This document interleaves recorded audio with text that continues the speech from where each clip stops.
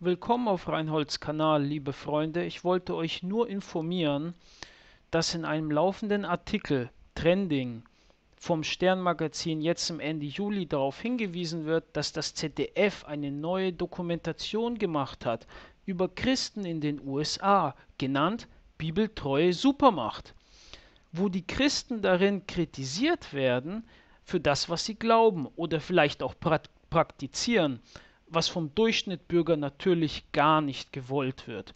Nun, ob es gerechtfertigte Kritik ist teilweise oder nicht, oder vom blauen Himmel her ausgedacht, weiß ich nicht. Ich habe es selbst noch nicht gesehen, die Dokumentation, wie auch immer es sein möge. Ich wollte euch nur darüber informieren und auch darüber wollte ich euch informieren, dass der große Abfall welcher im Thessalonicher Brief beschrieben wird, jetzt gerade passiert, wo die Menschheit vom Christentum abfällt. Und, und ähm,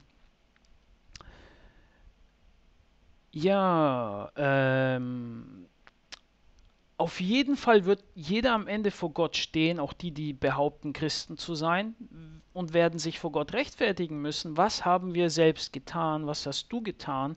Um für die Wahrheit einzustehen, um das Christentum zu verteidigen, um anderen Antworten zu geben auf ihre Fragen, so wie es sich gehört und wie es erwartet wird von einem Stellvertreter des Höchsten.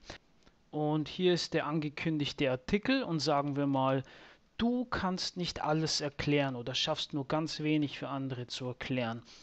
Äh, so geht es mir auch. Ich schaffe auch nicht alles den anderen zu erklären. Ich bin auch nur ein sterblicher Mensch, der versagt.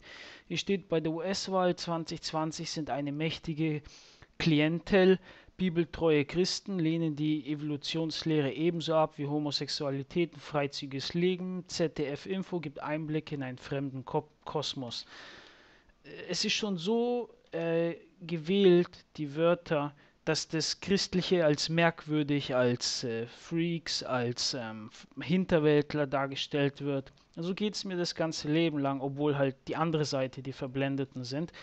Und deswegen werden wir vor Gott ähm, äh, uns rechtfertigen müssen. Er wird für uns verlangen, was hast du mit deiner Zeit und mit den Worten gemacht? Hast du andere verblendet oder hast du sie darauf hingewiesen, wie jemand nicht äh, in den Atheismus fallen kann oder nicht in die Evolutionslügen fallen kann? Oder hast du die Videos von jemandem geteilt, wie vom Reinhold zum Beispiel, wo du Wahrheit bekommen hast und hättest sie mit jemandem geteilt, der diese nicht bekommen hat?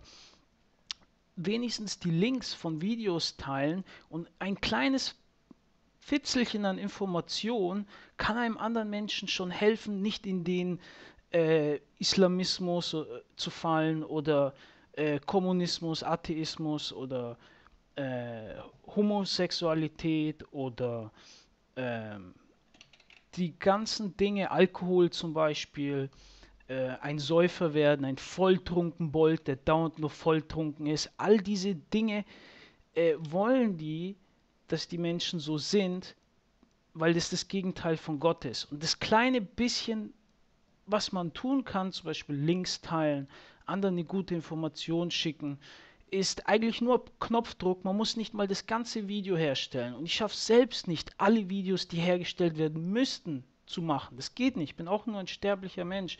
Also deswegen, falls du jemandem helfen kannst mit irgendeinem Link, ähm, zum Beispiel zu christlichen Videos, die ich mache, dann tu's. Denn am Ende werden wir uns rechtfertigen müssen, haben wir Computer gespielt oder haben wir vernünftige Links mit anderen geteilt, die die Dinge ins richtige Licht darstellen. Das war's für das Erste. Danke und äh, ciao. Das soll euch informieren,